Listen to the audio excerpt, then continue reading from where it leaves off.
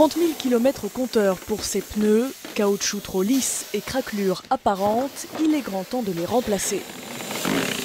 Chaque seconde en Europe, ce sont 6 pneus qui arrivent en fin de vie, pour un total de 200 millions en une année. Si beaucoup sont brûlés ou envoyés au recyclage, certains peuvent prétendre à un traitement plus circulaire, le reconditionnement. Nous sommes dans une ancienne usine de pneus neufs, reconvertie en 2023. Chaque semaine, une dizaine de milliers de pneus usagés arrivent ici. Au total, on garde à peu près 20% des pneus qui arrivent dans la benne. Donc il y a trois niveaux de tri, c'est le premier, il y en aura un deuxième après et un troisième tri fin qui permet de caractériser et de mettre les pneus en stock pour pouvoir les utiliser après.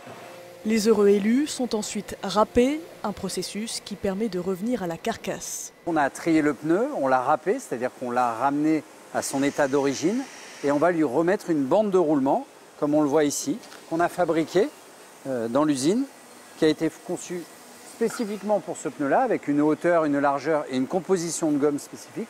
Et on va venir assembler le pneu. Comme un cordonnier ressemelle une chaussure usée, le pneu est ici doté d'une nouvelle peau.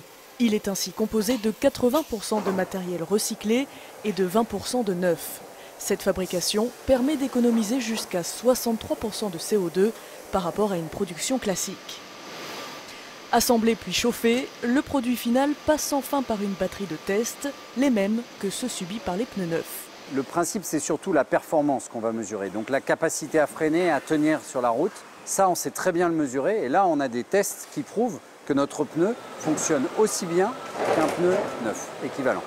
Une fois en magasin, ils sont vendus dans les mêmes gammes de prix que les neufs, mais les clients sont parfois un peu frileux. Les qualités de ce pneu par rapport à un pneu neuf, c'est qu'au niveau de l'adhérence, des distances de freinage, etc., c'est plus ou moins identique. Il y a un petit peu de réticence des clients au début, mais une fois qu'on leur explique le processus et les contrôles qualité qui vont avec, ils sont parfois plutôt enthousiastes. En Europe, les vendeurs ont obligation de récupérer les pneus usagés. Au lieu de les envoyer au recyclage, ce type de partenariat leur permet de récupérer au final un nouveau produit à vendre. Ici, pour chaque pneu acheté, on récupère la carcasse de l'ancien qui est ensuite renvoyée vers l'usine Léonard et qui est reconditionnée pour ensuite être mise en circulation.